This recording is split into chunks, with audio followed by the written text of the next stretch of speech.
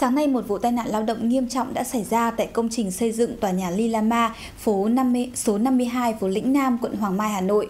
Chiếc thang máy vận chuyển các vật liệu xây dựng bất ngờ bị rơi đã khiến hai người tử vong ngay tại chỗ và một người bị thương rất nặng. Vụ việc xảy ra vào khoảng 10 giờ 20 phút sáng khi thang máy đang vận hành đưa ba công nhân lên tầng cao để làm việc. Khi lên đến tầng 20, thang bất ngờ gặp sự cố và rơi tự do xuống đất.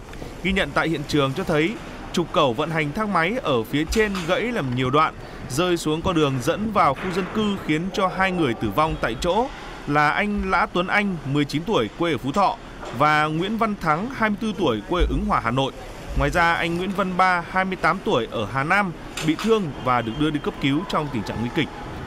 Tôi nghe tiếng sàng rõ là kêu sàng rõ to là tôi nghĩ là chắc xung quanh đây là người ta xây nhà khu vực là tôi thấy chắc là nó chỉ đổ giáo hoặc là gì nhưng mà tôi không ngờ là nó lại gây ra những cái tai nạn như thế.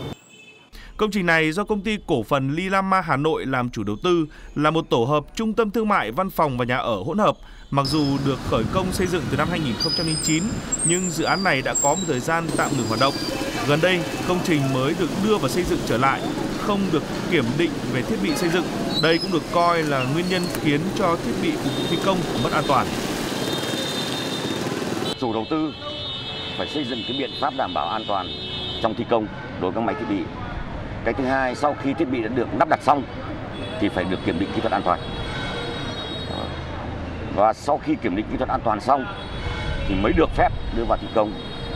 Nhưng công trình này thì mặc dù là công trình à, xây dựng rừng không thi công nhưng mà thiết bị vẫn được lắp đặt tại công trình.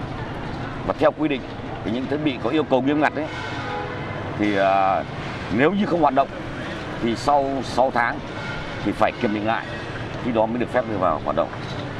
Hiện vụ việc đang được các cơ quan chức năng điều tra làm rõ.